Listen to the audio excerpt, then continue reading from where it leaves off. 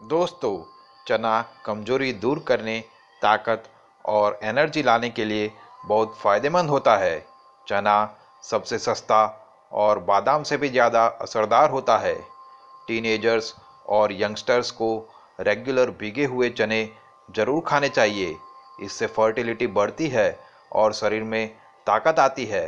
रात में एक मुट्ठी काले चने लेकर साफ़ कर ले।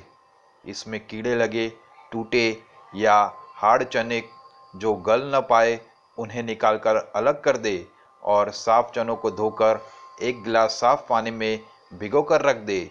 सुबह फ्रेश होकर एक्सरसाइज करने के बाद इन चनों को अच्छी तरह चबा कर खाए और चने का पानी भी पी जाए। भीगे हुए चने को सुबह काली पेट चबा चबा कर खाए। चने के पानी में एक चम्मच शहद घोल कर पी जाए। इससे कमज़ोरी दूर होती है, स्पम काउंट बढ़ता है और स्पम गाढ़ा होता है। एक मुट्ठी काले चने के साथ पाँच बादाम भिगोए, सुबह चबा चबा कर खा जाए, फिर एक गिलास गुनगुना दूध पी जाए। इससे ताकत और एनर्जी मिलती है, फर्टिलिटी बढ़ती है और मसल्स स्ट्रांग होते हैं। रात भर भिगे हुए एक मुट्ठी काले चने को सुबह गुड़ के साथ चबा चबा कर खाए।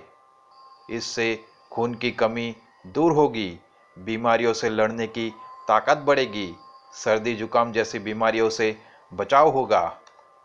भिगे हुए काले चने को सुबह शुद्ध घी में भून कर चबा चबा कर खाए। ऊपर से एक गिलास गुनगुना दूध पिए।